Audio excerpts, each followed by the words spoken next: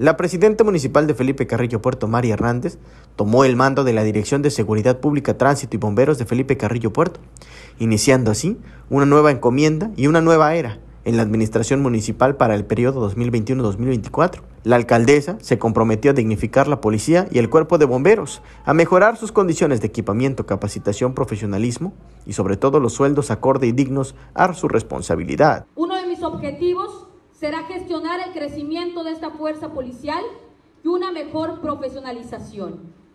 Vivimos tiempos difíciles y aunque nuestra situación como municipio en materia de inseguridad es menor a otros de nuestro estado, esto no quiere decir que la seguridad pública en nuestro municipio no sea una prioridad, prioridad para mi administración. Lo anterior solo se logra con mejores condiciones en cuanto a equipamiento, capacitación, profesionalización y sin duda con sueldos acordes y dignos a la responsabilidad y compromiso de un elemento de seguridad pública. Nuestro interés es continuar con el mando policial que se ha iniciado en un esquema que ha permitido contar con equipamiento y personal acorde a los requerimientos actuales de seguridad.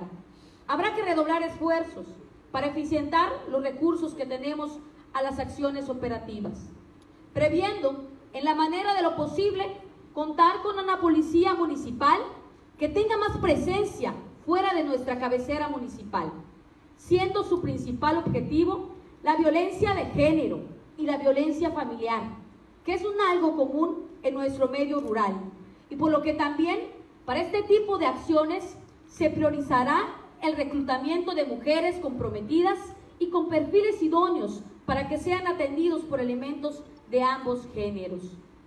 María Hernández dijo que uno de sus objetivos será gestionar el crecimiento de esta fuerza policial para garantizar la seguridad de DAS y los carrilloportenses. Además, confirmó que se priorizará el reclutamiento de mujeres comprometidas y con perfiles idóneos para que la población sea atendida por ambos géneros. En la ceremonia estuvieron presentes regidores y también el síndico municipal, así como también José Esquivel Vargas, quien fue sustituido a través de las fuerzas policiales. Para Canal 10 informó Juan Ojeda.